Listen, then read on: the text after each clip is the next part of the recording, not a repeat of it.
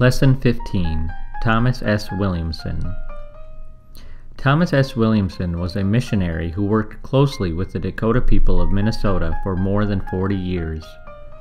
Born in South Carolina in 1800, he moved to Ohio as a young boy. He went on to study medicine at Yale University, where he became a doctor of medicine in 1824. Dr. Williamson married in 1827 and had three children, all while practicing medicine in Ohio. But after his children had died, Dr. Williamson decided to abandon the practice of medicine and seek the gospel ministry. He began to study theology in 1833, and after becoming a licensed minister, Dr. Williamson was appointed by the American Board of Commissioners for Foreign Missions to minister to the Dakota Indians.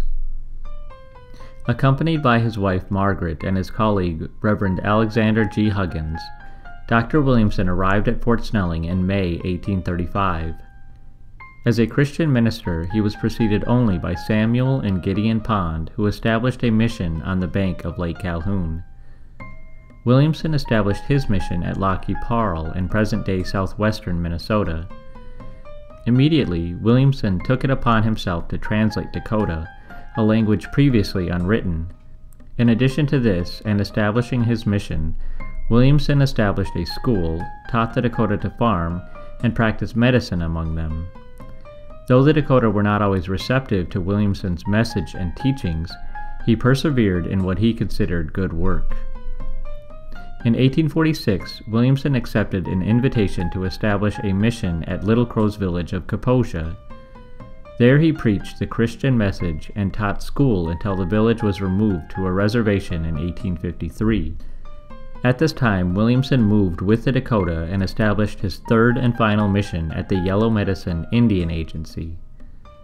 During the U.S. Dakota War, while living at Yellow Medicine, Williamson, his wife, and his sister Jane stayed to help protect and assist settlers and Dakota. After escaping to St. Peter, Williamson helped care for the wounded war victims. Following the U.S. Dakota War in 1862, Dr. Williamson continued his missionary work by preaching to the imprisoned Dakota at Mankato and then at Davenport, Iowa. When the Dakota were removed to a reservation in Nebraska, Williamson, while maintaining his home in St. Peter, Minnesota, spent summers teaching and preaching to the Dakota people. In 1877, following over 40 years of dedicated service to his missionary work among the Dakota, Williamson finally completed a full translation of the Hebrew Bible in the Dakota language. He died in 1879. It should be noted that although Williamson and missionaries like him during the settlement period of Minnesota were advocates of the native Dakota people, their assimilation policies were at the forefront of a cultural genocide that stripped the Dakota of their traditional ways of speech, dress, and living.